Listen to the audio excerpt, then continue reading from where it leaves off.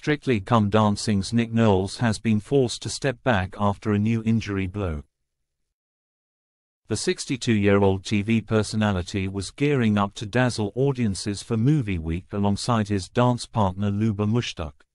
However, the duo has had to withdraw from this week's performance, with hopes of returning to the stage the next weekend.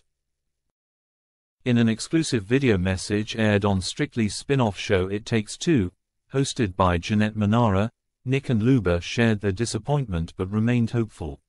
Addressing fans, Nick revealed, So during our first dress rehearsal today, our run-through of the dance number on the stage, unfortunately, I damaged my knee and it's quite painful.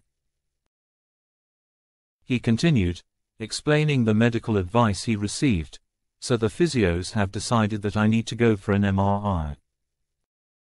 Luba chimed in with support, saying, Yeah, so unfortunately we'll not be dancing tomorrow, but we really really hope that the knee will be better for the next week and yeah, we'll be back on the dance floor. With a positive outlook, Nick assured viewers, fingers crossed, we really hope we'll be back and see you all guys very soon. Clutching his crutch, he joked, Even if we have to glitter up the crutches, I am determined to get back and to try and dance for you next week. The heartfelt update prompted a wave of sympathy from fans on social media platform X. One concerned viewer commented, Oh my god it's not even Nick's arm that sustained an injury it's his knee. Poor guy. Others sent well wishes, with one writing, Get better soon Nick. Speedy recovery. Another fan expressed similar sentiments. Ah get better soon Nick. For movie week, Nick and Luba were set to bring the Charleston to life with Rain on the Roof from the beloved film Paddington 2. But unexpected changes were afoot, as was shared on Strictly's official Instagram page on October 4.